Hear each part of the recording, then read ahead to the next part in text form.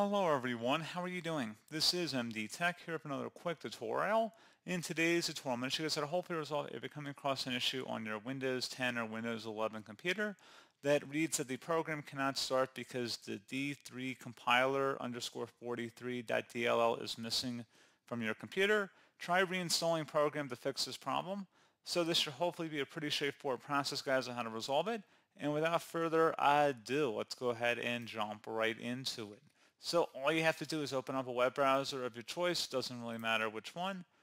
And into Google, you want to search for DirectX End User Runtime.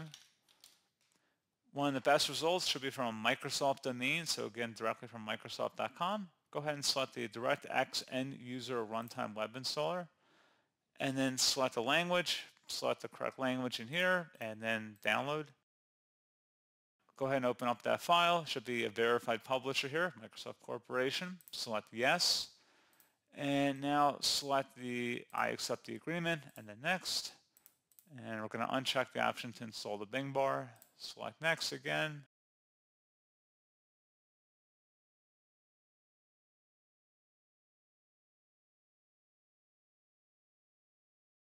Select next.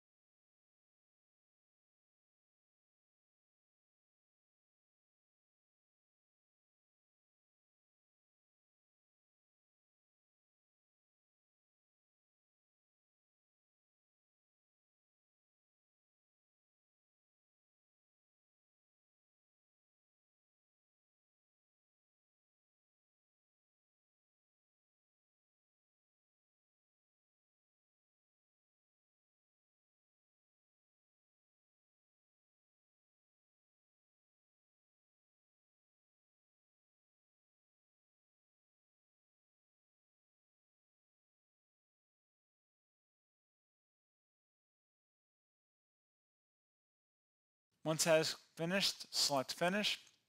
And you want to restart your computer.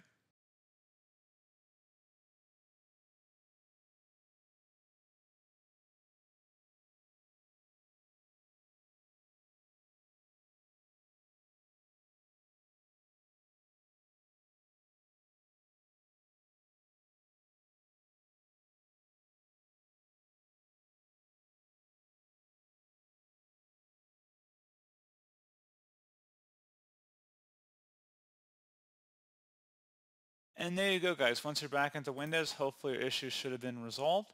And as always, thank you for watching. I do hope I was able to help you out, and I do look forward to catching you all in the next tutorial.